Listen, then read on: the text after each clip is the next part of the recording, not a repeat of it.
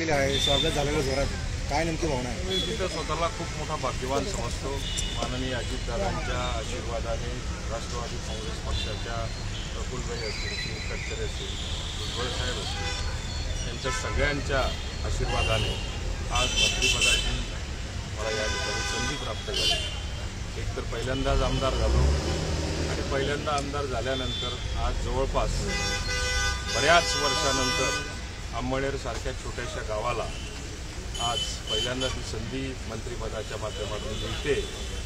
ही माझ्याच दृष्टिकोनातून नाही पण माझ्या मतदारसंघातल्या प्रत्येक जनगण जो जो मतदार असेल त्यांच्या दृष्टिकोनातून ही भाग्याची गोष्ट आहे. या जिल्ह्याच्या दृष्टिकोनातून विकासाचा जो आराखडा असेल त्याला पूर्ण ताकदीनिशी माननीय अजितदादांच्या मार्गदर्शनाखाली या जिल्ह्याचा विकास आराखडा कसा पुढे जाईल याची मनीषा बाळगून आम्ही वाटचाल करायला सुरुवात केली.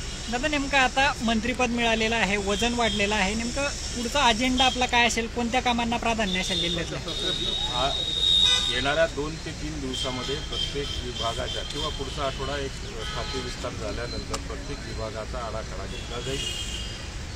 ग्राउंड लेवलवरून काम करणारा कार्यकर्ता ग्रामपंचायतीपासून निवडणूक लढणारा कार्यकर्ता आज मंत्रिपदापर्यंत पोहोचलेला आहे. मोठ्या समस्या शेतकऱ्यांच्या समस्या विद्यार्थ्यांच्या समस्या ज्येष्ठ नागरिकांच्या समस्या रोजगाराच्या सम समस्या या सगळ्या याच्यातून मी स्वतः टप्प्याटप्प्याने पार पाडल्या जात असल्यामुळे मला त्याची पूर्ण जाणीव आहे. आणि सगळ्या विभागाच्या सगळ्या अधिकाऱ्यांशी येणाऱ्या पुढच्या आठवड्यामध्ये किंवा पंधरा दिवसामध्ये तुम्ही टप्प्याटप्प्याने चर्चा केली जाईल आणि जे प्रॅक्टिकल दृष्टिकोनातून अडचणी ठरणारे जे विषय असतील ते मार्गी लावले जातील.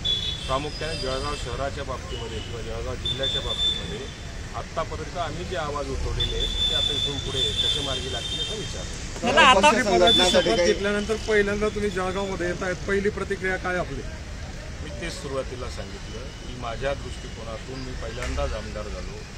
माझ्या मतदारसंघातला अंबळनेर तालुक्यामध्ये पंच्याहत्तर वर्षाच्या स्वातंत्र्यानंतर महाराष्ट्र स्वातंत्र्य झाल्यानंतर पहिल्यांदाच मंत्रिपदाची शपथ प्राप्त झाली. राष्ट्रवादी काँग्रेस पक्षामध्ये काम करत असताना याच्या अगोदरही मंत्री झाले राज्यमंत्री झालेले असतील पण कॅबिनेट कॅबिनेट दर्जाचा दर जो मुद्दा आहे कॅबिनेट दर्जाची शपथ जी आहे ती माननीय अजितदादा छगन भुजबळ साहेब प्रफुल्ल पटेल सुनील तटकरे या सर्व नेते सर्व नेत्यांच्या माध्यमातून ही संधी प्राप्त झाली.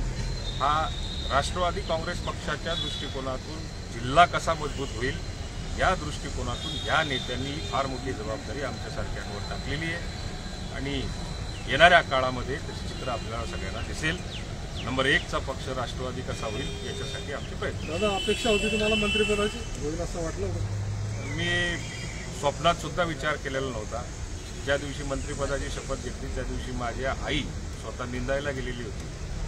मला काही एक माहिती नव्हतं. अपेक्षा तर अजिबातच नव्हती. अजितदादांवर निष्णात प्रेम करणे आणि त्या माणसामुळे आपल्याला जे जीवदान मिळालेलं आहे त्याची परतफेड करणे एवढाच उद्देश होता.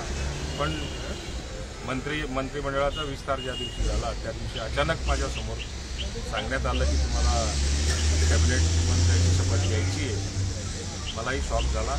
आनंदाची गोष्ट. दादा एकीकडे बाहेर पडलेला आहे. नेमकी किती संख्या आहे? कारण की अजून पण संभ्रम आहे. कोणी म्हणतं बत्तीस आहे कोणी म्हणतं छत्तीस आहे. आगे आगे देखते जाओ. आत्ताच फोर्टी फोर प्लस आहे. त्याच्या पुढे तो सेहेचाळीस सत्तेचाळीस अठ्ठेचाळीस पुढे पुढे मला असं वाटतं की सगळेच राष्ट्रवादीचे येऊन जातील अशी मला शंका आहे. पण आज फोर्टी फोर प्लस आमचा आकडा आहे. दादा! ह्या राजकीय घडामोडी घडण्यापूर्वी चार दिवसांपूर्वी आपण काळे झेंडे दाखवले होते फडणवीसांना. त्यानंतरची ही भूमिका तुम्ही घेतलेली नेमकं त्याच्या मागचं कारण काय होतं? आता त्या त्यावेळी जे आमचं धोरण ठरलेलं होतं त्या दृष्टिकोनातून आम्ही केलं काम.